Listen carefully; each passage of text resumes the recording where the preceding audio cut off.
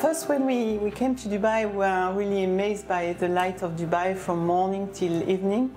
So we've developed three harmonies that speak about this light. And from the morning, this uh, very quiet combination of color with blue and, and gray.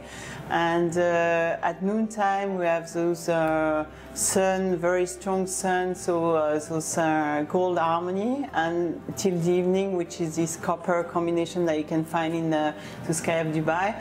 Uh, as the architecture was really open to the outside with a large bay uh, opening outside, we, we thought it was really great to have this inside-outside uh, language and uh, working well together.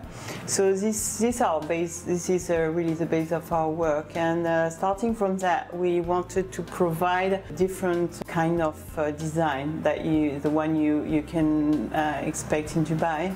For me, there is no luxury without culture. And so uh, by bringing uh, five female artists with an incredible talent, we've brought uh, this uh, cultural dimension.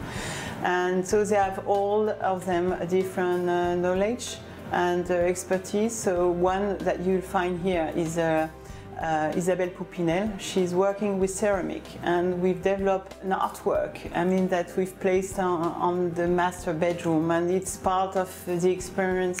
Also bring uh, at night a very nice uh, lighting uh, emotional uh, thing in the project. So, I mean, we've worked with those female artists. Another one is uh, embroiderer of uh, fabrics. Another one is uh, working with metal embroidery.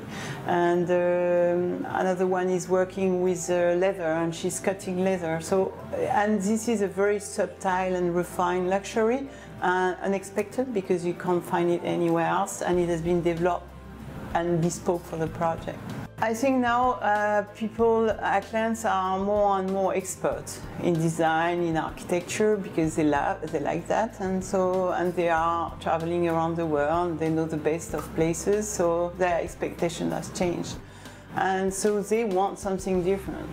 And uh, so this is what we, we, we've tried to achieve and to, to give them uh, the, and to deliver something they, were, they will be even beyond their expectation.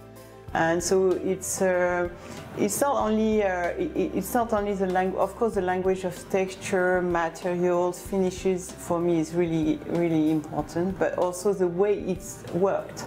I mean, the attention to detail, uh, the way the skirting are, are worked with the insert of, uh, of uh, metal elements, this kind of thing that are recessed and flush with the walls, this kind of thing you, you don't find.